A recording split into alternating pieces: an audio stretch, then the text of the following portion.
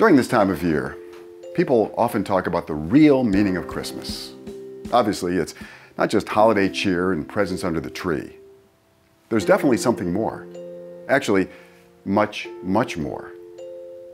The real message of Christmas is that the God of heaven, who created you and me and everyone you know and everyone you don't know, didn't just love us enough to send a messenger to tell us of that love.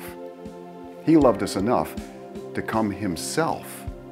The God who created the heavens and the earth and all that is in them entered our world Himself to tell us and demonstrate His great love for all mankind. And He didn't come as a powerful king who would demand submission from all of His enemies. He came as a humble servant, a Savior who would demonstrate His love for us in a way that we would never have imagined. He would die so that we could live.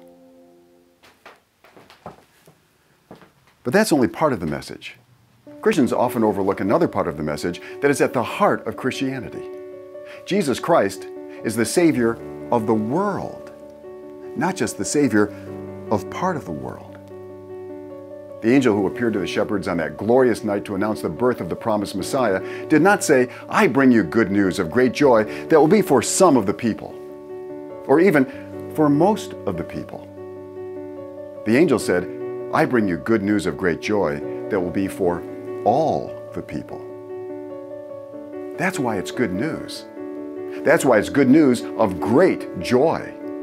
That's why a great company of the heavenly host appeared with the angel, praising God and saying, Glory to God in the highest, and on earth, peace, goodwill toward men. That message was made clear by John the Baptist when he revealed who Jesus was.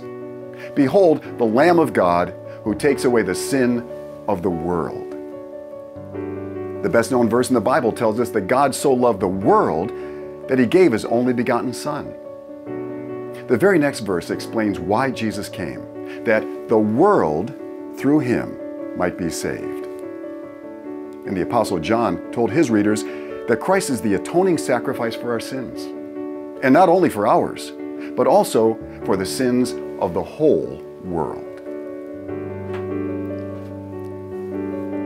When speaking to the crowd after his triumphal entry into Jerusalem, Jesus said, And I, when I am lifted up from the earth, will draw all people to myself. During the first five centuries of the Christian church, a prominent view, and according to some scholars, the dominant view of the leaders and the people, was that Jesus Christ accomplished what he came to do. They believed that at the end of time, every knee will freely bow and every tongue will freely confess that Jesus Christ is Lord to the glory of God the Father. The real message of Christmas, the message at the heart of Christianity, is that the God of heaven came down to earth to bring salvation to all mankind. Jesus Christ is the Savior of all, not just the Savior of some. That's not only good news, that's the greatest news ever announced. Merry Christmas.